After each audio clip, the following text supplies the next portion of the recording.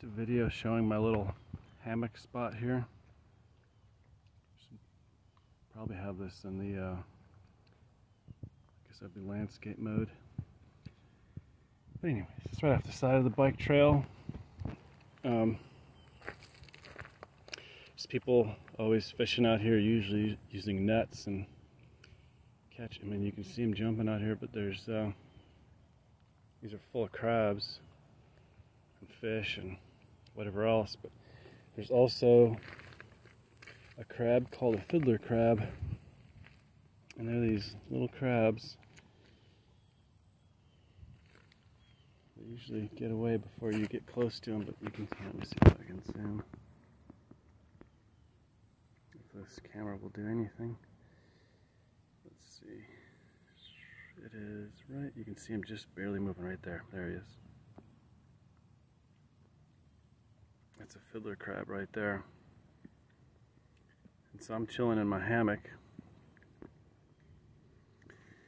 And I go to step down, and there's a fiddler crab, a big one. See, there's one right there. There's a couple of. These, it, I went to pack my bag, and I have to check my bag to make sure they didn't crawl in it. and I pick up my book, which was lying right here, and there was like a bunch of them under it, almost like what you would think of as like mice, you know, when they're under a board or something. And uh, they are so curious and kind of cute, actually.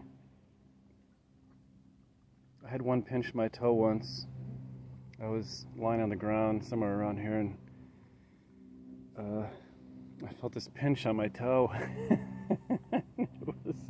a, little fiddler crab trying to figure out what, what he had next to him there.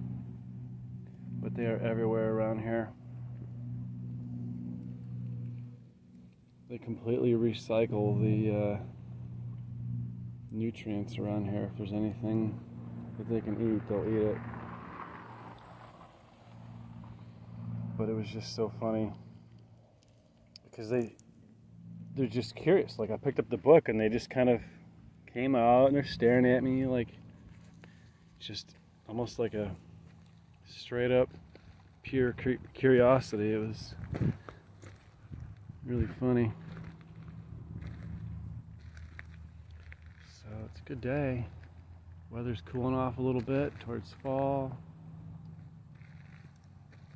About to head my, I think it's somewhere around seven miles back. Did a good, good fast ride here. Probably do a little more casual ride on the way back, but anyways, I figured I would introduce y'all to fiddler crabs. I mean, you can't really see it with the camera, but if you had your eyes here, they're, they're all over the place.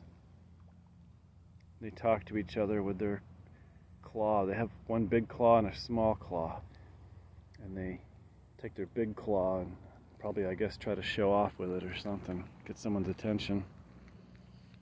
But they're, uh, I think they're adorable. They kind of freak out a little bit because, you know, they're all over the place. But, uh, yeah, kind of adorable.